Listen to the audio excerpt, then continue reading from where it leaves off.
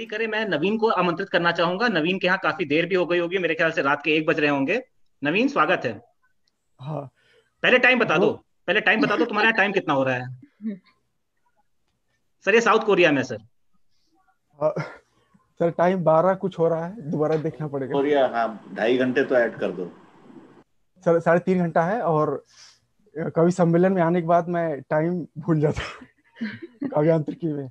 नवीन आप नवीन आप हर काव्यांत्रिकी में आते हैं इसके लिए आपका बहुत बहुत धन्यवाद। हम आपको हमेशा सुनते हैं और आप इतने और टाइमिंग्स पे भी हमारे साथ जुड़ते हैं।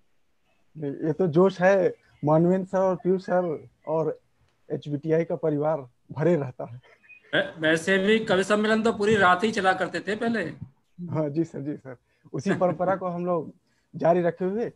तो सबसे पहले मैं अपने गुरु जी जो कि काशी की धरती से श्री अरविंद सर अपना आशीर्वाद के रूप में ज्वाइन करें, मैं उनको प्रणाम।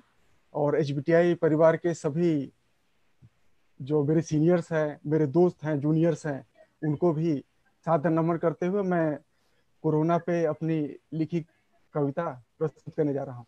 एक्चुअली पहले तो मैं सोचा था कि मैं एक कविता बोल के और सर को दस सुनाऊँगा। वन और ज़ीरो बट ये C S C S E के नहीं है। सर कंप्यूटर साइंस के नहीं है जो इनको ज़ीरो और वन में अच्छा लगेगा। ये सी ये सिविल के हैं और मेरी ईट से ईट बजा देंगे। आज जो है टाइम घड़ी जो है टिक टिक टिक टिक चल रही सर की। सिविल के बहुत ज़्यादा है आज। तो मैं शुरू करता हूँ। भय भयंकर भरा पड़ा था भय भयंकर भरा पड़ा था हर जन पर तन से भाग खड़ा था। जब वो छुट्टा घूम रहा था जब वो छुट्टा घूम रहा था, कहर के मद में झूम रहा था, तब मैंने कवच कुंडल उठाया था, बनकर पृथ्वीराज शब्द भेदी चलाया था, बनकर पृथ्वीराज शब्द भेदी चलाया था। जब वो मानवता को ललकार रहा था, निर्द्वंद्व अखाड़े में फुफकार रहा था, तब मैंने यमदूतों को, तब मैंने यमदूतों को, यमदूतों से हाथ मिलाया था, मैंने यमराज को भी संजीवनी पिलाया था। मैंने यमराज को भी संजीवनी पिलाया था।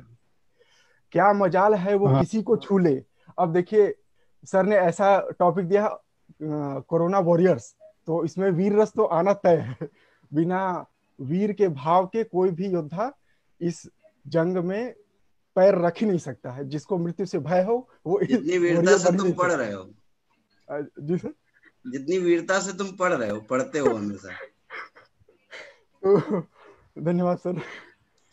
तो क्या मजाल है वो किसी को छू ले? क्या मजाल है वो किसी को छू ले? सफ़ेद वर्दी देख वो रास्ता भूले। क्योंकि धनवंतरी बहते हैं मेरी रगों में धनवंतरी बहते हैं मेरी रगों में। दधीची अस्थियाँ पहनी है मैंने नगों में। दधीची अस्थियाँ पहनी है मैंने नगों में। तो ये एक क्विज टाइप का है मैं बिना नाम लिए हुए कविता पढ़ता हूँ और क्विज के नाम से मेरे बैच के प्रशांत मोहन जौहरी है, ये उठ खा, उठ के बैठ गए होंगे अभी कविता सुन रहे हो तो। तो ये डॉक्टर्स डॉक्टर्स को नमन, जो कि सफ़ेद वर्दी धारी हैं। अगली पंक्तियाँ, मैं देवदूतों की काया हूँ, मैं देवदूतों की काया हूँ, मैं सब मरीजों की छाया हूँ, मैं भगवान का शस्त्र हूँ, मैं देव आत्माओं की देह वस्त्र हूँ, मदर टेरेसा की सौगंध खाती हूँ मदर टेरेसा की सौगंध खाती हूँ, मैं जान की बाजी लगाकर भी जान बचाती हूँ। तो नमन है सभी सेवा भाव ली हुई सब नर्सों का, और जो लोग भी इस भाव से हमेशा छाया की तरह मरीजों के आसपास इर्द गिर्द घूमते हैं, अभी सर ने बोला कि ज़्यादातर डॉक्टर जो है ऑन ग्राउंड पे जाने से हिचकिचाते हैं, और तो उसमें नर्स लोगों का सेवा भाव बहुत ही महत्वपूर्ण है। उनको नमन करते हुए मैं आगे बढ़ता हूँ। तो अगर आप गेस कर पाए तो इसमें कमेंट में या फिर ऐसे बोलते रहेगा ये नर्स लोगों के लिए। अब आगे आता है।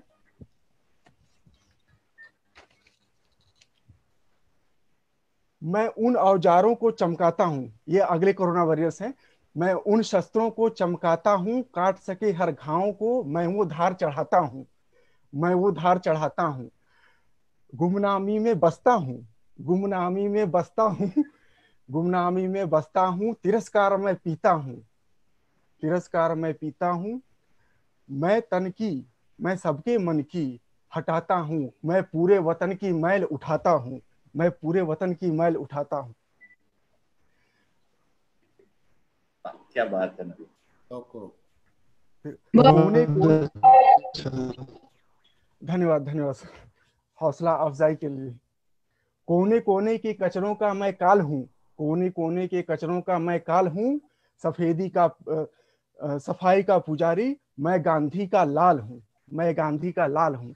तो ये है सभी स्वच्छता कर्मियों के लिए मेरा नमन। अब अगले आते हैं।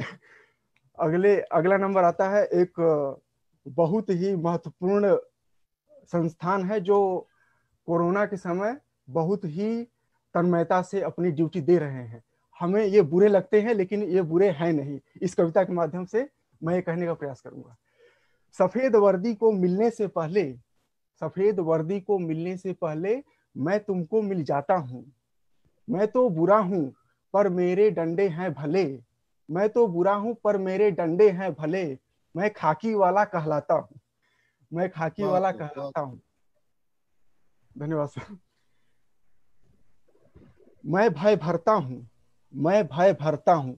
इसमें रामचरित मानस ने भी तुलसीदास जी ने लिखा है, लिखा था कि जब विनती करने से सिंधु नहीं मान रहे थे तो रामचंद्र जी ने बोला था, अब भय भी न हो ही न प्रीत।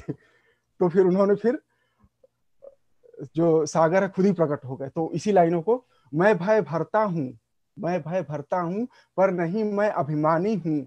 झाँक के देखो मेरे अंदर झाँक के देखो मेरे अंदर, मैं तो नारियल पानी हूँ।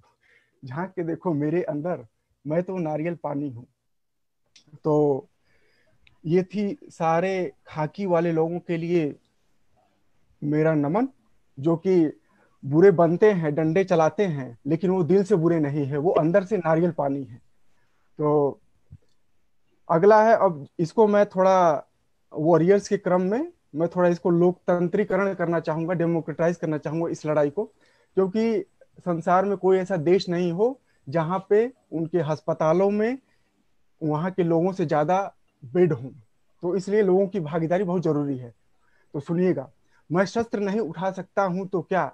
मैं शस्त्र नहीं उठा सकता हूँ तो क्या? मैं ढाल उठाना जाना हूँ।